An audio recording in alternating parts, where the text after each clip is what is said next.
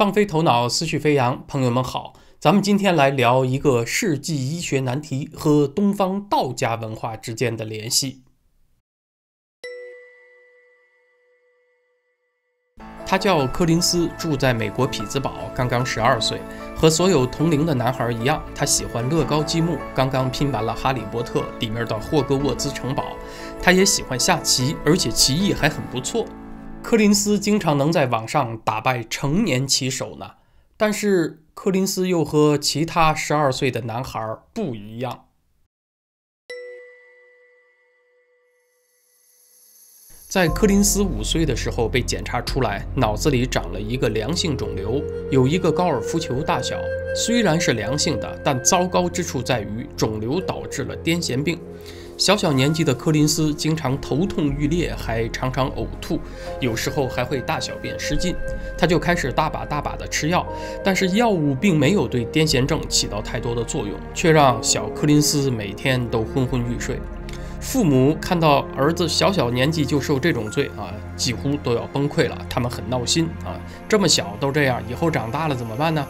虽然他们很不情愿，最后还是听从了医生的建议，做开颅手术吧，切除肿瘤和诱发癫痫症的那部分大脑。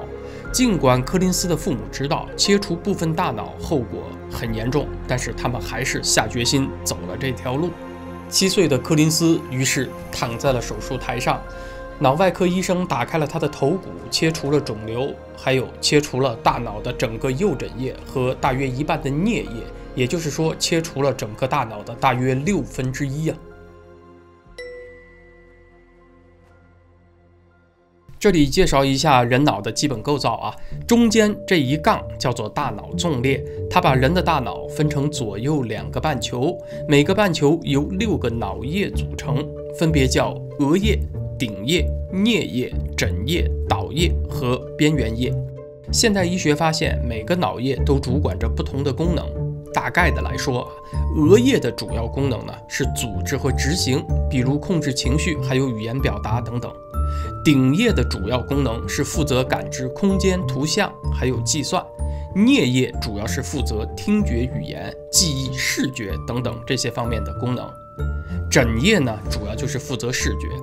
癫痫症患者主要就是枕叶这个区域出了问题，当光线进入这个大脑区域以后啊，各种线条和网格重叠在一起，它分辨不清啊，就犯了癫痫了。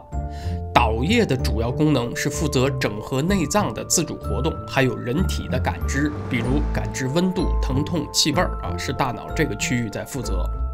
最后边缘叶呢，则是接受大脑不同区域输入的信息，参与记忆、学习，还有情绪管理等等这些方面的功能。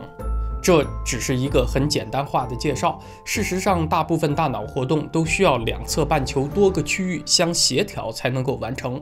不过呢，也总有一侧半球居于主导地位。比如，左半球是语言功能的优势大脑半球，右半球呢，则是在空间感、想象力这些方面占主导地位。柯林斯的父母早就做好了心理准备，孩子的右枕叶和一半颞叶被摘除以后啊，很可能意味着他从此以后再也看不到东西了，也有可能不认识父母了啊。但是他能够摆脱癫痫症的折磨。主治医生还有一个担心，就是手术以后会影响到孩子的发育。这个手术做完以后，柯林斯还真的就成了脑残了啊！只不过这不是骂人的话，就是他字面的意义，大脑生理构造的残缺。但是五年过去了，柯林斯的恢复状况惊掉了所有人的下巴。他和所有有完整大脑的男孩子一样欢蹦乱跳，而且智力发育正常啊，这就比较奇了。切除了六分之一的大脑，对他唯一的损害就是他的左眼周边的视力为零。也就是说呢，他长大以后不能开车，因为盲点太多，主要就是这个损害了。这个结果完完全全超出了主治医生的预期。柯林斯的案例在美国的脑神经学界是一个奇迹，非常有名。不过，这个奇迹呢也不算唯一，类似的案例还发生在其他一些人的身上。二零一九年，美国加州理工学院调查了六名切除过大脑的人，他们现在都是二十岁至三十岁的成年人，但是呢，都和柯林斯一样，是因为癫痫症在童年时代做的切除大脑的手术，切除的分量还很夯，从三分之一到二分之一的都有。这些都算是生理意义上的重度脑残了吧？可是你猜猜看，这个研究的结果是啥？结果发现，他们剩下的一半大脑都相当的争气，相当的给力啊，一点都没有因为自己只是一半的数量就只干一半的活儿。事实上，这些一半的大脑基本上都干了整个大脑的活儿。这六个人不仅发育正常，而且智力一点都没受影响啊，后来都拥有正常的工作和生活。如果不说，没有人会知道他们是半脑人。奇迹，它一旦重复出现，我们就很难说它是奇迹了啊，应该称之为小概率事件。小概率事件背后，它往往埋藏有我们尚且不知真相的线索。根据现代医学的认识，大脑里大约有一千亿个神经元，它们之间建立起了千丝万缕的联系，有各种复杂的信号往来，指令是在这么一个超级网络当中不停地传输。大家一直认为，如果这个网络被破坏掉，脑细胞之间就不会有正常有效的沟通了。那么，像柯林斯他们这样已经损失了从六分之一到一半网络的大脑，它怎么还能够正常工作呢？这个原因在哪儿呢？卡内基梅隆大学的一个实验室开始着手研究柯林斯的大脑啊，这个案例太值得深入探究下去了。研究人员用核磁共振全面扫描了柯林斯的大脑，结果发现，柯林斯和其他同龄孩子相比，大脑神经的功能绝对正常，也没有丝毫的发育迟缓。而且更令人吃惊的事情还在后面，柯林斯不仅左脑一切如常，还自发自动地承担起了被切除的那三分之一右脑的功能。比如，他的左脑不仅能够识别单词这种抽象的符号，也能识别人脸这种具体形象。那这就给我们当前的认知带来了冲击。也就是说，柯林斯的大脑他自己修复了损失掉的那部分功能。研究人员看到这个结果都陷入了沉默，不禁发出了灵魂的拷问：这怎么可能呢？难道小孩子的大脑自带修复本领？那为什么绝大部分成年人就没这本事呢？说绝大部分成年人做不到，也不是说所有都做不到啊。成年人当中也有很离奇的故事啊。我们接着往下看。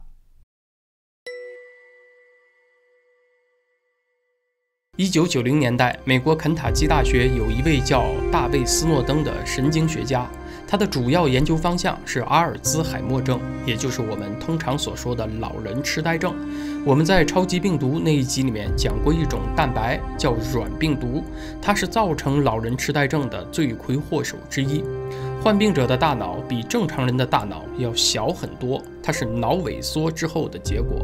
这是正常老年人的大脑，这是病患的大脑。它看起来像一个干缩的核桃，它的内部结构已经变得像海绵一样了。脑细胞纠结成块，造成了脑萎缩，也就没有办法正常传递信号。所以初期患病的人会出现记忆力急剧的下降，变得像传说中的金鱼一样，只有七秒钟的记忆。而且本来脾气很好的人都会变得暴躁，说话也没有逻辑。到了后期，病人生活就无法自理了，完全失去了逻辑思考的能力，甚至失去记忆，丧失语言能力。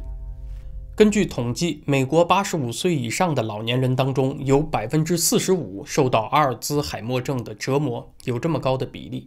但是斯诺登研究过的一群修女，改变了我们对这种病的认知。这是一群圣母学院的修女，她们都愿意在死后捐献器官。斯诺登研究了几百个七十五岁以上的修女，他每个月都会登门拜访一次，给修女们做测试，观察她们大脑机能的退化状况。测试结果分成从一到十的等级，级别越低呢，也就意味着病症越轻，零级那就是没有病。经过一段时间测试，斯诺登发现有一少部分修女已经开始体现出老人痴呆的症状了，比如短期内记忆力减退、生活技能下降、需要人照顾等等，级别从零到八都有。不过，修女们得老人痴呆症的平均比例比一般人要低。这似乎说明修女是一个特殊的人群。你可以说，她们隐居清修的生活方式达到了某种特殊的养生效果啊，所以她们的这个患病比率比较低。这么说也行，但是从后面的发现来看，这个解释就完全不足够了。一位叫伯纳黛特的修女，八十五岁去世了。在她死之前，头脑敏锐，记忆力完全在线，生活自理能力也很强。几年来，在斯诺登的测试当中，他一直都是零级，也就是没有老人痴呆的任何症状。他是在八十五岁的时候死于心脏病的。可是，等斯诺登打开他大脑的那一瞬间，他简直没有办法相信自己的眼睛啊！因为展现在斯诺登眼前的伯纳黛特修女的大脑已经完全海绵化了，萎缩了，完完全全就是十级晚期的大脑了。可是他在世的时候却跟没事人一样。这怎么可能呢？伯纳黛特修女并不是斯诺登见过的唯一奇迹。一些患有轻度老年痴呆的修女去世以后，斯诺登解剖遗体，却发现他们的大脑和伯纳黛特修女一样，其实是重度患者。在斯诺登的研究案例当中，只有几位修女的表面症状和大脑的物理症状相符合。那这些修女是凭什么逃过了病魔的袭击呢？九零年代的斯诺登无解，进入千禧年以后，卡内基梅隆大学的科研人员也同样无解，所以这就是一个世纪医学难题了。但是我们能够从古老的东方道家文化当中找到一些线索。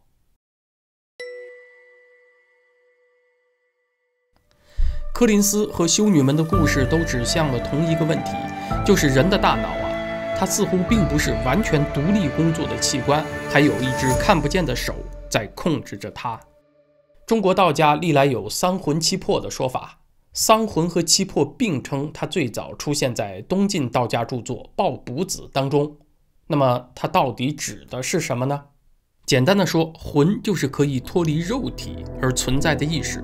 比如濒死体验、意识离体，这些都是魂的活动，而魄的维度就要低一些，它是居于肉体和魂之间，是依附于肉体而存在的低维度的意识。肉身死亡，它也随之消散了。所以成语里有“魂飞魄散”的说法，魂它可以飞走嘛，脱开这个肉体，而魄呢却会消散。举例说，睡觉的时候经常会有昏沉凌乱的梦境，一会儿这样，一会儿那样，它不连贯，没有逻辑，混混沌沌，这就是魄的活动。然而，意识离体这类边缘心理体验当中，当事人的描述经常是脱离肉身以后，反而觉得自己的思维更加清晰了，视觉和听觉都变得更加敏锐了，很远地方有人说话，他都听得见。记忆力也被释放，一生当中经历过的每一件小事，都像放电影一样，一件一件展现在眼前。这些都是魂的特点，它比魄来得更高级一些。所以呢，又有魂属阳，魄属阴的说法。至于说三魂是哪三个，七魄是哪七个，在不同的道家著作里面，他们各自有不同的名字，那这里就不一一解释了。《黄帝内经》里又把人的精神力量和五脏相对应：心藏神，肺藏魄，肝藏魂，脾藏意，肾藏志。所以你看，他这儿又给你掰开了、揉碎了说，又是魂，又是魄，又是神的，说的太烧脑，讲的人一头雾水，就不像英文单词里面一个 soul 就结了。其实总结起来，他要说的意思也不复杂。道家说的是人体各个器官的功能，还有生命的存在啊，它背后都有属灵的因素在掌握。而道家修炼呢，就是要把这些灵性的力量锻炼得超级发达，使人体的机能超过它生物的极限，从而达到长生久世的目标。回到今天所讲的故事，男孩柯林斯大脑功能的自我修复，还有修女们生理上是老人痴呆的重症晚期，却完全没有表现出任何常人的症状，它都说明了有我们不知道的力量在支撑着人体的机能。他把柯林斯被切除的那部分大脑的功能转移到了剩余的部分，也在修女们脑组织已经海绵化之后，却没有让大脑宕机。当然，这些故事你如果把它放在未经筛选的人群里面，它是小概率事件，只发生在有特殊素质的个体身上。但是它告诉我们，生命的维系并不只是神经元、细胞这种层面的作用，还有更深维度我们无法触及的原因。这些东西在东方的道家称之为魂和魄，在英文当中被称之为 spirit 或者 soul。如果我们从这个角度来看待道家修炼文化，是不是别有一番感想呢？那么今天的故事就分享到这儿，谢谢大家。如果您觉得今天这个话题有意思的话，就请点个赞、关个注，下回更新不迷路。最后，何宇博士说：“看来脑残还是能治的，不过得看这个人有没有灵魂。”